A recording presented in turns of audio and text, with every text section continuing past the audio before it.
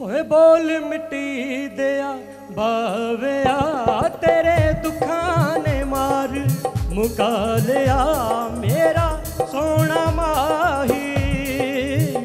ਆ ਜਾ, ਹੋ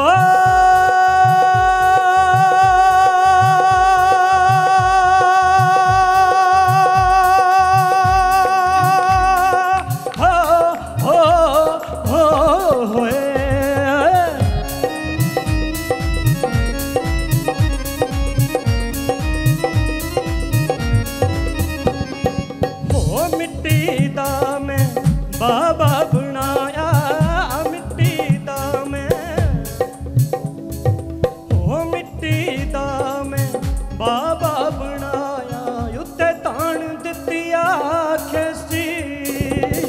ਵਤਨਾ ਵਾਲੇ ਮਾਣ ਕਰ, ਕੀ ਮੈਂ ਮਾਣ ਕਰਾਂ ਪਰਦੇਸੀ? ਮੇਰਾ ਸੋਹਣਾ ਮਾਹੀ, ਆ ਜਾ, ਹੋ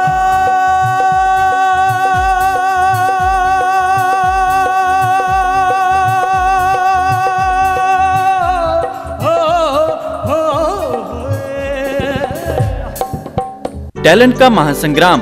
ਜੇਕਰ ਤੁਸੀਂ ਟੈਲੈਂਟ ਕਾ ਮਹਾਸੰਗਰਾਮ ਵਿੱਚ ਭਾਗ ਲੈਣਾ ਚਾਹੁੰਦੇ ਹੋ, ਤਾਂ ਤੁਸੀਂ ਆਪਣੇ ਆਪ ਨੂੰ ਆਨਲਾਈਨ ਰਜਿਸਟਰ ਕਰ ਸਕਦੇ ਹੋ।